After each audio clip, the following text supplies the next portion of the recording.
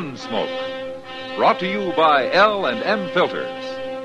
This is it. L&M is best. Stands out from all the rest. Around Dodge City and in the territory on West, there's just one way to handle the killers and the spoilers, and that's with a U.S. Marshal and the smell of gun smoke.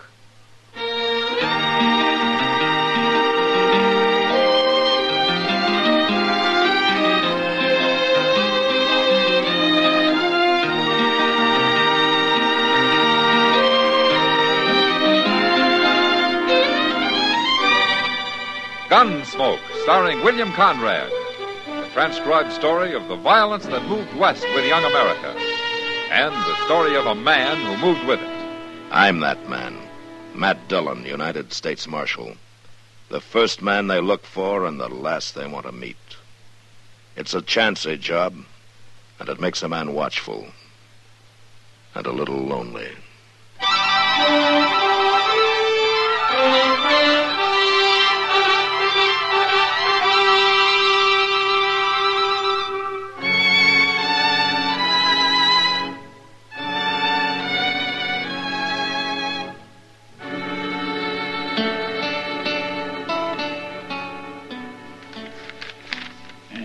Sure do hope things. Ha- ha- Mr. Dillon, are you listening to this? What? Oh, oh, yeah, yeah, sure. Go on, Chester. Go on. Uh, and I sure do hope things has been good with you like they has been with me. Take care of yourself. Maybe I will come up to see you one day soon. Your loving brother Magnus. And then down at the bottom he says, Your Uncle Will got tromped on by a cow last week. Well, now, ain't that nice, Mr. Dillon? What do you mean about Uncle Will? No, I mean getting this letter from Magnus. It's real thoughty of him. That's the first one I remember you getting. It's the first one he's wrote. Uh, to me, at least. Sure is funny, though. I never knew that boy could write a lick. Well, maybe he's learned since you saw him last. No, I don't think so, 'cause Magnus don't hold with schooling. Uh-huh. No, sir, none of my kinfolk does. What my ma says all a body needs to know is how to cook, care for your own, and get to the church. Uh, she must have made your pa a very good wife. I don't know as he ever said. He run off when I was only four. Him and ma never talked to each other you much the from what marshal, I. mister? Right. Yes, ma'am, that's right. I'm Nancy Creed. Well, come in, please. Uh, this Chester Proudfoot, Miss Creed. How you do, Miss Creed? Marshal, I come to see you 'cause my pa's going to shoot somebody dead. What? I want you should stop him. Well, who's your pa gonna shoot? Fella that worked for him a spell, name of Ben Tolliver. And why's your pa after him?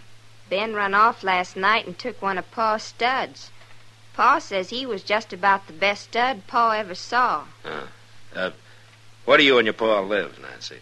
About 20 miles from here, out along the Arkansas. And you think this man, this Ben Tolliver, came into Dodge, huh? I don't just think it, Marshal. I know it. So does Pa. Ben always said he was coming here. I see. So I sneaked away this morning after Pa went down the corrals to come tell you. I figure you be the fella to see, being Marshal and all. Uh, Nancy, look, if this man stole one of your pa's horses, why doesn't your pa come in here and tell me about it? He, he could swear out a warrant for Tolliver, and then I could arrest him. Pa don't want to. He says he'll take care of his own troubles. You think you can stop Pa from shooting Ben? Well, I can sure try. Tell me, uh, uh, what does your pa look like? Look like. Uh-huh. Well, I don't know your pa, Nancy, but if I knew what he looked like, then I could watch for him, you see. I never thought about Pa as looking like anything. Except just Pa. Uh, well, uh, for instance, how old is he? I don't know. He never said. Well, what would you guess? He's kind of gray. But Then he's always looked like that. Anything else? He's got a bad leg from where a horse kicked him, and his jaw's busted some. Well, that don't sound like he should be hard to find. Not with a limp and a lopsided face. Why, my gracious, even I can find a Okay, man with Chester. a limp All and a- right. Uh, Nancy, I'll watch for your paw, and if he does come into Dodge, I'll have a talk with him. huh? You do that, and I'll surely thank you, Marshal. Bye. Mm, Goodbye. Say, Marshal, Yes. If it helps any, I know where that Ben Tolliver is. Oh, forever. You do? Right there at the Long Branch Saloon having a beer. You know where I mean. Yes. I yeah. seen his horse tied outside, so I went up and looked through the window, and he's there right now. Well, why didn't you tell me this before, Nancy? Never thought of it. Well, you'll do something about Pa now, won't you, Marshal? I declare she don't know get up from whoa, does she, Mr. Dillon? She's kindly pretty, but my gracious. Come on, Chester. Let's go have a talk with Ben Tolliver and find out what this is all about.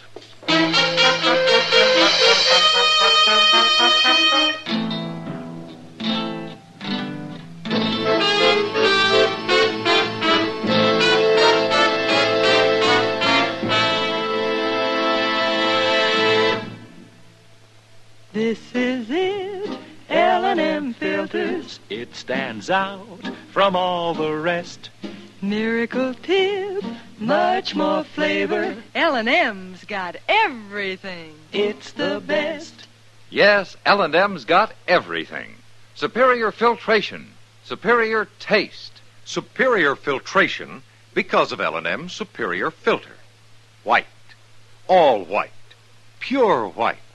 The purest tip that ever touched your lips. Superior taste because of L&M superior tobaccos.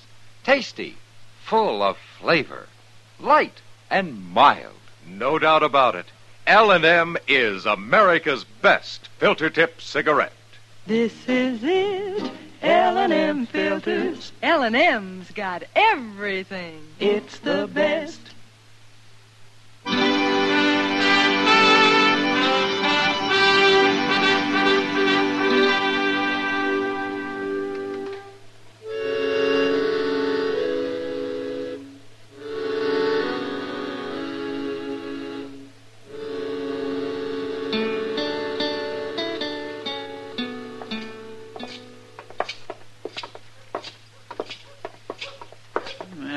Sure didn't have no hankering to come with us. And I think she was afraid we might run into her paw. She sure lit out for home fast enough. She just ain't very bright, is she, Mr. Dillon? Ah, she seems to know right from wrong, Chester. That's more than some people. Yes, sir. You want me to come in with you? Uh, yeah, but uh, stay by the door while I talk to Tolliver, huh? How are you gonna know which one's him? Well, there won't be more than three or four people in there this time of day.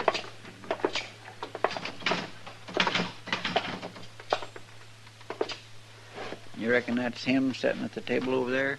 Well, it could be.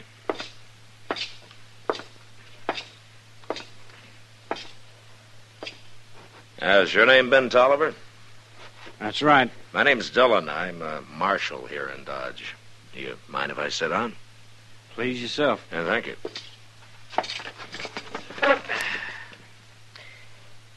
Uh, girl named Nancy Creed came into my office a little while ago.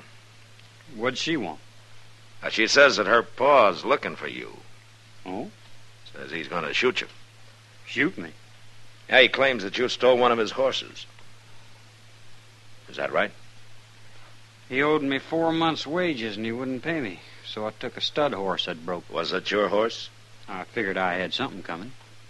You can't take a horse that belongs to somebody else, no matter what you figure. Look, mister, I caught that stud horse when he was running wild out on the range. I brought him into old Creed's place and broke him myself. I put three months' work into that stud and on my own time of an evening. Creed says it was his horse and you stole him. No such thing. Besides, he said he'd pay me thirty dollars a month, then he threw me out without a penny. Now, the girl didn't tell me anything about paid being due you. Nancy wouldn't know about it anyway. Her pa don't tell her nothing. She just keeps the place redded up and cooks for him and the like. Well, come on, Ben. Come on, where? I'm going to take you to jail. Jail. What are you putting me in jail for? And if what Nancy says is true, Creed's coming in to look for you. Putting you in jail's the best way I know of to stop a fight. But I ain't done nothing wrong, Marshal. Not the way I see it. You'll only be in jail till I get this straightened out. Later this afternoon, I'm going to ride out and have a talk with Creed before he decides to come into town.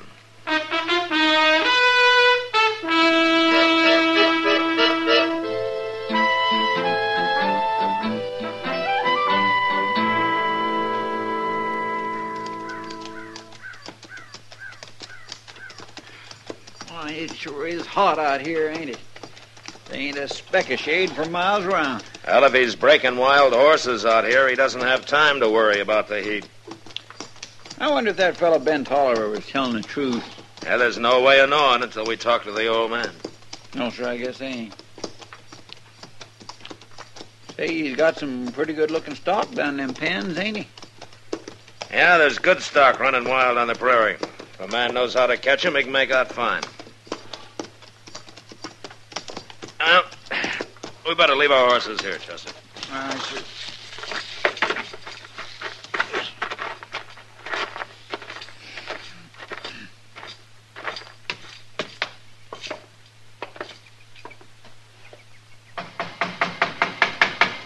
Don't be banging on the door. I seen you coming. You Jake Creed? That's right. Well, I want to talk to you, Creed. Who are you, mister? Marshal Dillon from Dodge. Cooler out there than in the house. I'll come out.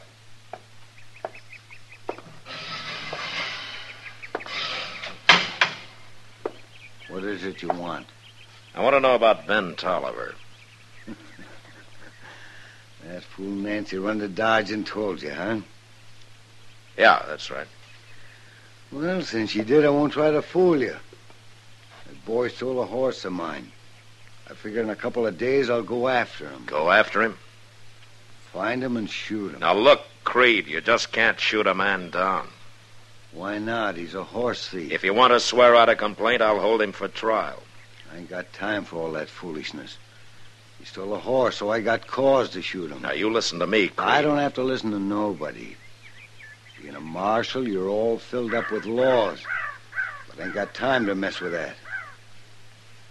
I'll just shoot him. Creed, either you come into Dodge and swear out a complaint against Tolliver, or you forget about the whole thing. I got better than 40 range horses out here, only half broke. I can't be wasting time fooling around with no trial. Did you owe that boy money? Of course not. Everything he did, I had to show him how. The way I see it, he should have paid me. He worked out here for you for four months, right? You could say that. Well, he told me that that stud horse was his. Since he caught him and broke him, I guess he'd figure it that way. But Ben was working on my place and taking my food. That stud's mine. Now, the law might not agree with you, Creed. I know that, Marshal. That's just why I'm going to handle my own trouble. And not mess around with the law. Look, I've tried to tell you, Creed, and I'm going to tell you once more, real plain. You shoot that boy and you'll hang for it. I don't care what you think the right of it is. All right, come on, Chester. And maybe I won't shoot him. Maybe I'll fix that boy good some other way. Him and that stud horse he's so proud of.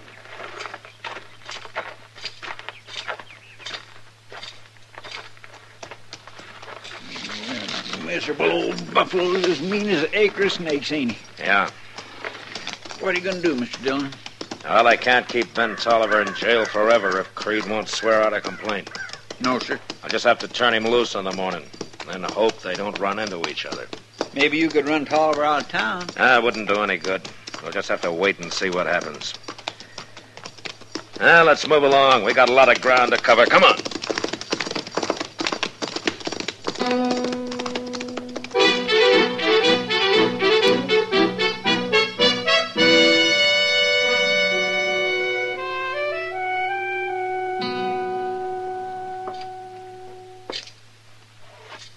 You're free now, Ben. Thanks, Marshal. Being in jail overnight makes a fella kind of ouchy. Yeah, well, I'm sorry about that. I, I did it to save trouble. I know, Marshal. I don't blame you none. What you going to do now, Ben? Well, Chester, I thought maybe I could find myself a job of work somewhere. Yeah, what kind of work? All I know is horses. There ought to be some spread near here that could use a hand. Well, if there's anybody looking for a hired hand, Sam down at the Long Branch would know about it. He's the bartender there. I'll tell you what, I'll walk down with you if you like, Ben. Oh, thanks, Marshal. Uh, I, Mr. Dillon, Uh, yeah, yeah, what is it, Chester? you could just have a beer while you're down there talking. Yeah, yeah. Okay, Chester, you, you can come along, too. Come on. Oh, thank you. You- Say, Mr. Dillon, that was a good idea. I- I'm glad you thought of it. Well, thank you, Chester. Uh, where are you from, Ben? California. Oh, California? What are you doing in Kansas? This is the cow country, Marshal. California just don't have the spreads. Yeah, but all that gold out there. The gold rush was 20 years ago, Chester. Well, I know that, but there might just be a little left laying around. I sure didn't find any, Chester. Or maybe you didn't know where to look. All I want is to have my own piece of land, raise good stock, maybe get me a wife. I might even go on up to Wyoming sometime. I hear that's good cattle country, too.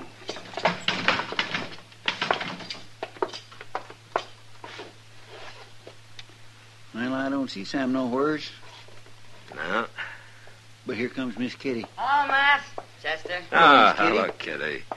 Uh, oh, Kitty, this is uh, Ben Tolliver. Pleased to meet Ben. you, Kitty. Uh, we came down to talk to Sam. And have some beer. Well, I can get you the beer, Chester, but Sam's down at the depot with a wagon. No? Shipment of rye whiskey's coming in on the Santa Fe this morning. Oh, I see. Uh, you're up kind of early, aren't you? Sam asked me to take care of things till I got back. I can sleep this afternoon. Come over to the bar. I'll get you some beer. Okay. My, you, you make a pretty fancy bartender, Miss Kitty. Well, a girl's got to have an ace up her sleeve, Chester. Yeah. What? What? Uh, never mind, Chester. Well, What are you doing in the saloon this early? Well, we come down to ask Sam if he'd heard about anybody needing a hand. Yeah, you see, Ben here is looking for a job. Oh, what sort of job, Ben? On a ranch somewhere, Miss Kitty. You work around stock much? All my life, just about. Yeah, you see, he was working for Jake Creed up until yesterday. Jake Creed. Yeah, you you know him? I know about him. Only a few months back, some cowboy was giving me a half a dozen reasons why I ought to kill him. Hmm, he must have been the fellow Jake threw out just before I come along. You probably stayed with him about three, four months. Is that right? Yes, sir. Then he started some argument. You had a fight, and he threw you out? That's about the right of it. And no pay into the bargain. Honestly, Matt, I don't know how Creed gets away with it. Well, I guess there's always somebody new drifting by who doesn't know his reputation. What did you argue about, Ben? Oh, a little bit of everything, Miss Kitty, but mostly on how to rope. How to rope? Yeah. He says when you're working stock, the only way is to tie hard and fast and not dally. Well, I sure couldn't argue that. no, uh, uh, Kitty, you see, hard and fast means that you tie the end of your rope to the saddle horn, you see. And when you dally, you just hold the end of the rope in your hand and twist it around the horn a couple of times. That's right. That way, if the rope gets tangled up in your mount's legs or yours, you let go and you're free. There ain't no way to get dragged if you dally. you mean old Creed don't believe in dallying? Well, no, ma'am. Oh. Well, most of the fellows don't think it amounts to much, but they do some in California. Uh-huh. Well, they sure don't in Texas. Creed says that nobody who knows anything about working stock could ever rope anyway except hard and fast. I'm glad I make a living in here. It sounds complicated, I guess, Miss Kitty, but it ain't to a horseman. Well, no matter what the argument was about, he should have paid you, Ben. Oh, um, Ben, uh, you got any money at all? No, sir. Here, I'll give you five dollars, and you can pay me back when you make it, huh? Thanks, Marshal. well, as long as you're paying, don't forget the beer, Marshal. Oh, yeah, sure. Here you are. Thank you. Yeah, Sam won't have to worry about his bar, not with you behind it, Kitty. Well, this bar pays a good part of my salary. Uh, Marshal, I think maybe I'd better go down and have a look at my horse. Uh, make sure he's been watered this morning. Oh, Moss would take good care of him, man. Well, I think maybe I'll just walk down there anyway. Uh, can I go with you? I'd like to see your horse. Sure. Uh, ben, you come back later this afternoon. Sam will be here then. We can talk about a job for you. Thank you, Miss Kitty. He seems like a nice young fellow, Matt. Yeah. What's the matter? I was thinking about Jake Creed, Kitty. What about him? Now, he's got something on his mind. He'll try to get to Ben Tolliver's some way.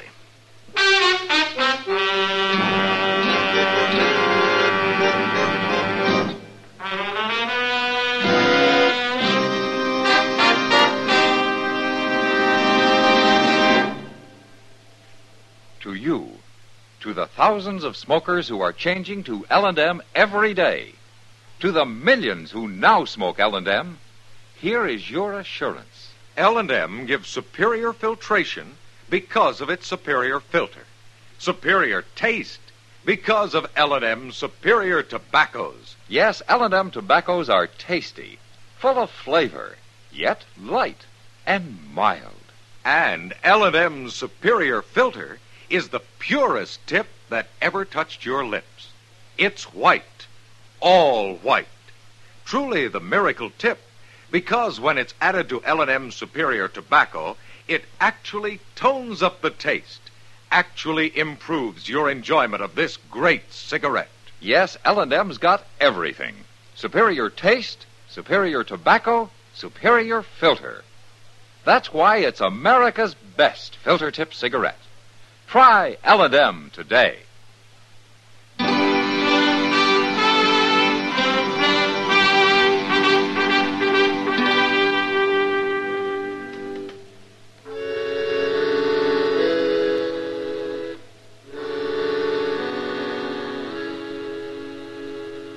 In the next three or four days, there was no sign of Jake Creed around town, and I began to breathe easier. Ben came in one morning and said that he'd found a job out at the Walker place and that he was going to start the next day. And I was glad for him.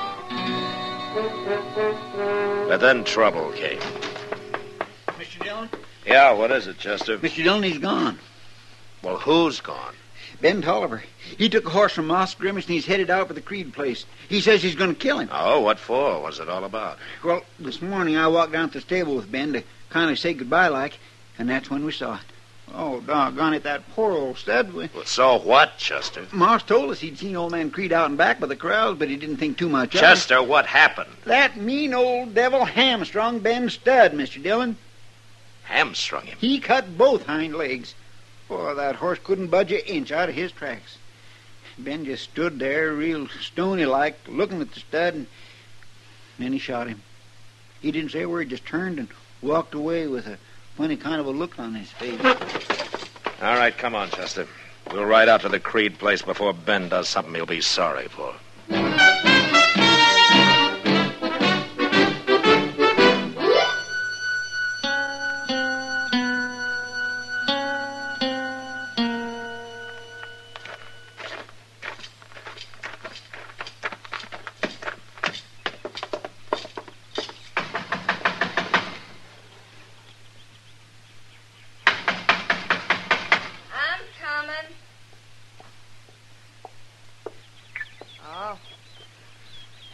Marshal.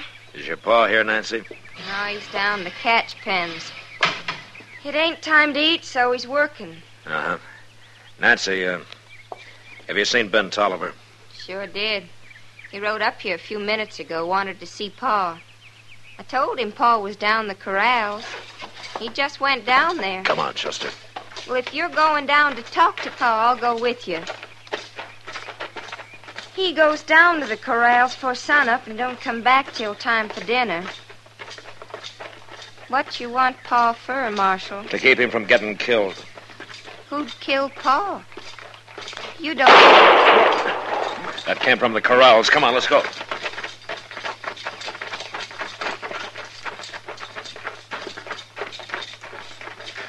Mr. Dillon, look.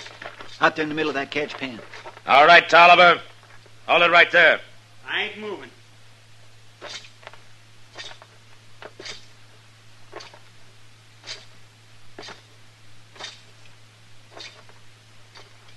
All right, give me your gun.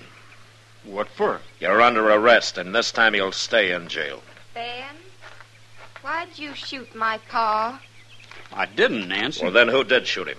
Nobody shot him, Marshal. I'm trying to tell you. Jake was already dead when I got here. It was the horse I shot. What? See for yourself.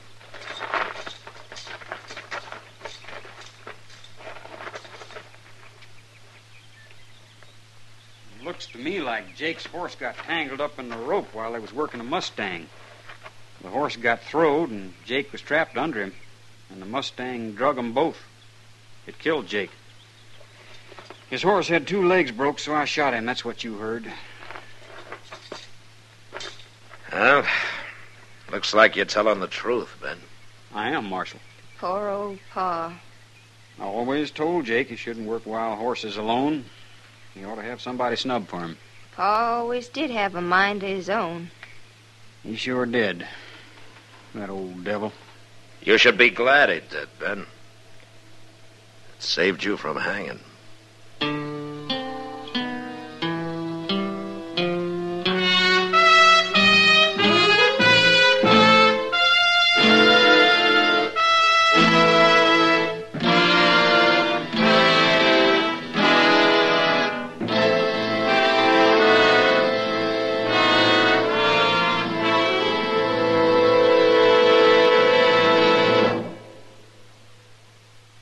Our star, William Conrad. Thank you, George.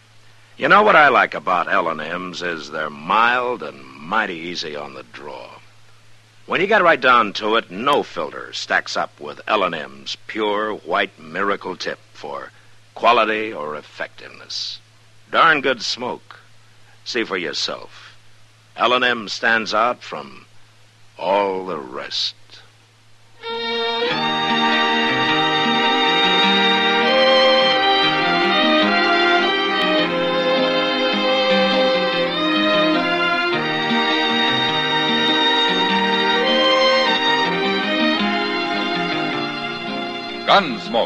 Produced and directed by Norman Macdonnell, stars William Conrad as Matt Dillon, U.S. Marshal. The special music for Gunsmoke was composed and conducted by Rex Koury. Sound patterns by Tom Hanley and Bill James. Featured in the cast were Sam Edwards, Eleanor Tannen, and James Nusser. Parley Baer is Chester, and Georgia Ellis is Kitty.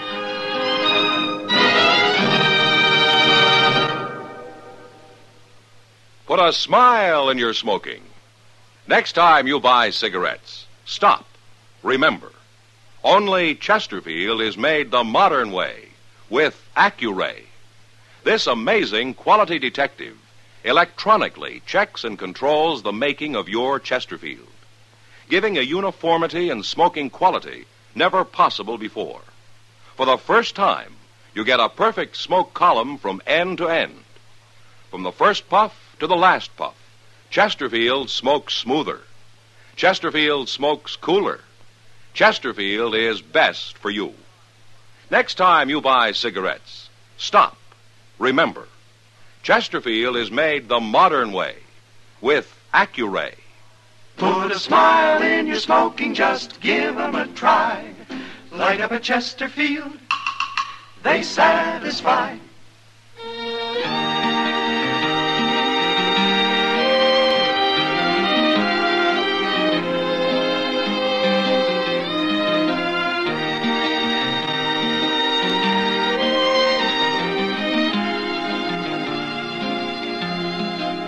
Remember, listen again next week for another transcribed story of the Western frontier when Matt Dillon, Chester Proudfoot, Doc, and Kitty, together with all the other hard living citizens of Dodge, will be with you once more. It's America growing west in the 1870s. It's Gunsmoke, brought to you by L&M Filters.